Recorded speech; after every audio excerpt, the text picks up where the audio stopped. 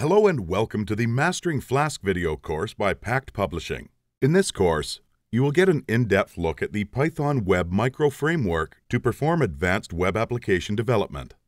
This course was brought together by Jack Stouffer and Alexander Putilin, and I'm Tori Clark, the voice for this course.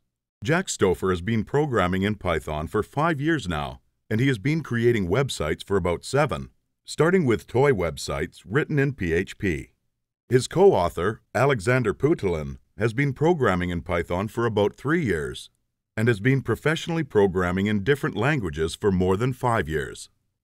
They both have GitHub accounts, which have some open-sourced Flask code hosted on it. Some frameworks like Django use batteries included approach, whereas Flask is a micro-framework. Flask itself is very small and provides basics for developing web apps, but it is extensible there is a strong community that provides extensions for handling other things, from DB support to caching. Now let's explore what we will be building in this course. Throughout the course, we will be creating an international movie database clone called the World Film Database. This app is rather complex. Each movie has its own page with the full cast listed. Each actor and director has their own page with links to every movie they have starred in or directed. Users can create an account which will allow them to leave comments on the pages of each actor or movie. The maintainers of the site have also created a blog to give users updates on any news involving the site, which users can also leave comments on. Overall, this web app has a lot of dynamic content based around relationships between many different entities. In this course, we will cover these topics.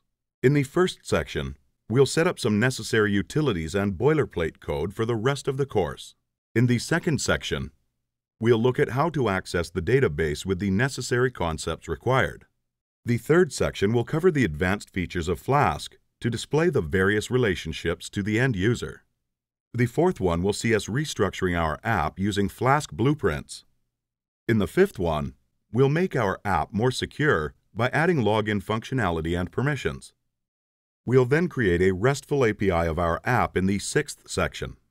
In the seventh one, we'll create an admin interface and enhance the functionality of our app. We'll then use the Flask extensions to speed up the working of our app in the eighth section. The ninth one will see us using Celery and understand how it is used in asynchronous programming. The tenth section will see us testing our app to make it more robust.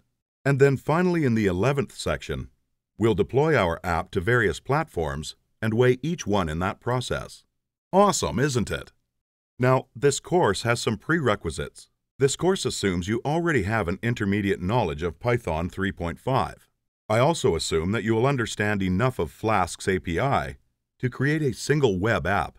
SQL databases are going to be used to great effect in this course, so understanding what they are and how to write SQL is necessary. Finally, it's also assumed that you have at least some understanding of how web technologies like HTTP, HTML, CSS, and to a lesser extent, JavaScript work.